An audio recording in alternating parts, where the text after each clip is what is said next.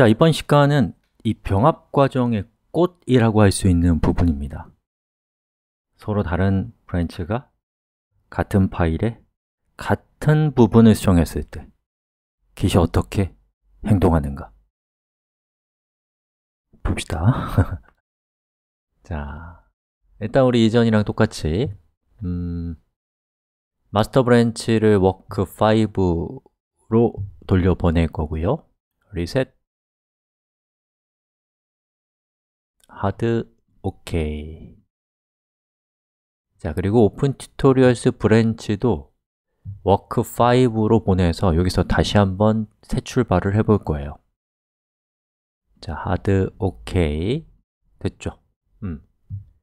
자, 그리고 work.txt의 내용을 보면은 이렇게 생겼습니다 자, 그런데 이 중간에다가 지금 누구예요? Open Tutorials branch네요, 저 같은 경우는 여기에 open tutorials라고 이렇게 썼다고 쳐봐요 저장 네. 요거 띄우지 말고 그냥 할까요? 음. 자, 그리고 commit 합시다 자, 수정은 이 부분이 추가된 거죠 open tutorials work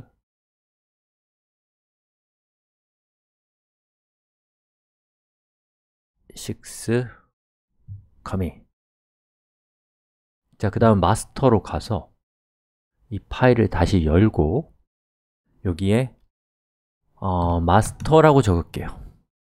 저장했습니다. commit. 그리고 stage로 올리고 master work 6 commit. 자, 그럼 branch가 어떤 상태가 돼요? 이런 상태가 됩니다. 그리고 둘 다 같은 부분을 수정했죠. 자, 이때에 Open Tutorials branch의 내용을 master branch로 merge, 즉 병합했을 때 어떤 일이 생길 것인가 라는 것을 봅시다. 자, 보시는 것처럼 conflict, 즉 충돌이라는 것이 일어났어요. 그리고 우리한테 여러 가지 경고 메시지를 보여주죠, 무섭죠?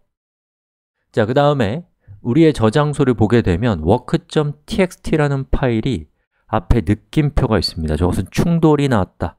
라는 그런 뜻인 거예요. 자, 그리고 work.txt 파일을 열어보면은 이런 식으로 적혀 있습니다.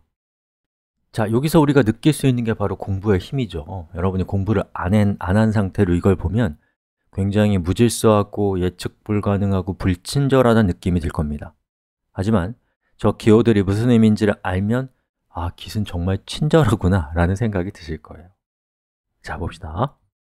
자, 여기 있는 이 중간에 있는 구분자를 기준으로 해서 이 HEAD가 가리, HEAD 옆에 있는 꺽쇠 안쪽에 있는 이 부분은 여러분 HEAD가 뭐예요?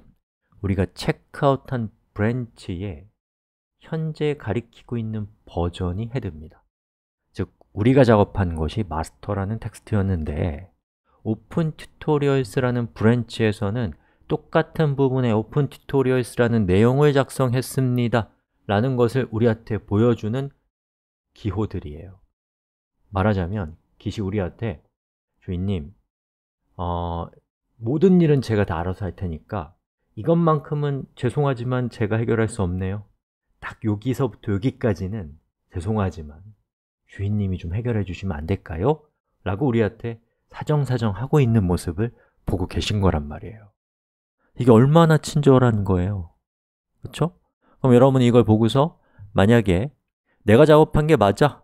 그러면 여기에서 오른쪽 클릭해서 resolve, 해결하다는 뜻이요. conflict, 충돌.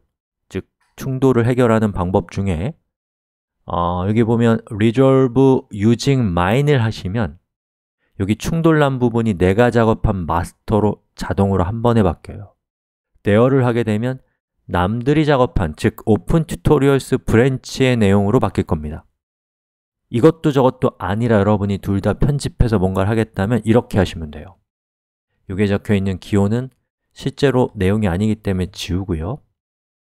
그리고 여기에 있는 내용과 내용을 이렇게 컴마로 구분하면 돼 라고 한다면 이렇게 해서 작업을 끝낸 다음에 work.txt로 가서 resolve complete에서 어, mark resolved 예, 해결되었음이라고 되어 있는 항목을 선택하시면 git에게 나 이거 해결했어 라는 뜻이에요. 그리고 해결되면 여러분의 이 작업한 이 파일을 stage area로 올리면 됩니다. 근데 자동으로 올라가요. 올라간 결과입니다. 자, 예를 선택해보면 이전에 master branch에서는 master만 있었는데 Open Tutorials라고 하는 부분도 추가되었습니다 라고 우리한테 보여주는 것이죠. 자, 그리고 commit 버튼을 누르면 자동으로 이렇게 우리가 이 버전에서 어떤 일을 했는지를 남들이 볼 수 있게 하는 work.txt에 complete가 있었습니다 라고 하는 내용을 추가해서 이렇게 커밋 메시지까지 자동으로 만들어줍니다. 그리고 커밋 버튼을 누르면 보시는 것처럼 이렇게 병합이 끝났고요. work.txt를 열어보면 이렇게 병합된 결과가 보인다는 것을 알 수가 있죠. 자, 이것이 바로 공부의 힘입니다. 공부를 안 하면, 공부가 안돼 있는 상태면 충돌이 일어나면 사고가 났다고 생각해요. 그리고 굉장히 초조해집니다.